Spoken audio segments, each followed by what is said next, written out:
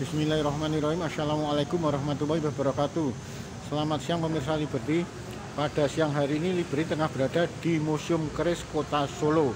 Kebetulan pada hari ini Hari Keris Dunia Indonesia Indonesian Keris Inspiring the World Museum Keris Nusantara 25 sampai 27 November 2022 Kebetulan Liberty langsung bertemu dengan beliau Kanjeng Gusti Pangeran Haryo Puger budayawan yang sekaligus putra dalam Sinuwun Pakubono ke-12 Keraton Kasunanan Surakarta Hadiningrat.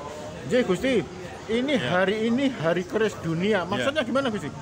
Jadi maksudnya uh, penetapan UNESCO untuk menjadi keris ini warisan dunia ya. itu pas hari ini sehingga ya. ini diperingati sekecil ya. apa pun. Ya. ya. Sehingga kita selalu diingatkan bahwa kita punya peninggalan leluhur yang wujudnya keris ini sudah uh, mendunia. Ini harus kita uh, selamatkan, kita syukuri ya, sehingga bisa menjadikan uh, apa namanya uh, kegiatan kita syukur bisa menjadi sebuah bisnis kita sehingga uh, bisa menghidupi generasi berikutnya. Terus juga menghidupi uh, pendidikan kita dalam sains ilmu perkerisan itu. Kalau menurut Gusti, kenapa kok keris Indonesia bisa mendunia itu kenapa Gusti? Ya karena sejarahnya tentu keris ini eh, masa-masa kerajaan kan banyak dihibahkan. Di Jerman museum pernah dapat hibah dari B10 terus apa namanya eh, eh, orang-orang masa lalu orang-orang yang ada di sini dikasih hadiah. Jadi keris-keris ini menjadi sebuah alat souvenir souvenir di samping wayang. Sama wayang dan keris juga menjadi souvenir kepada eh, petinggi-petinggi uh, negara lain yang hadir ke sini. Itu sehingga inilah keris menjadi sebuah uh, apa nama catatan bahwa ini menjadi sebuah uh, apa namanya uh, benda yang memang menjadi uh, jati diri uh, Nusantara khususan uh, Surakarta ini souvenir.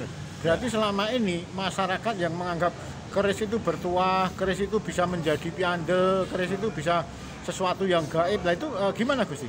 Itu berangkat dari tadi penyelamatan tadi sehingga dia salah persepsi. Jadi negara itu membuat senjata untuk menyelamatkan ini bukan terus uh, apa namanya keris menjadi hal yang semacam itu tuh salah besar. Uh, saya tidak setuju. Tadi keris ini memang uh, menjadi sebenarnya simbol pendorong. Tadi saya lo sama lurus itu pendorong untuk kita yang lo untuk semangat kita hidup.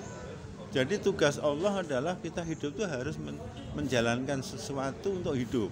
Nah, tetapi untuk menjalankan satu hidup harus ada yang lurus, yang tidak goyah, itu loh, tidak diganggu oleh uh, uh, apa namanya uh, ajakan yang menyimpang dari eh, kebenaran ilahi itu. Berarti selama ini kalau kita mempunyai pemahaman keris itu identik dengan planet itu salah ya? Saya tidak setuju. Artinya yang ampuh itu pemiliknya ya? Ya pemiliknya terinspirasi dari simbolisme yang di, disampaikan uh, oleh uh, leluhur.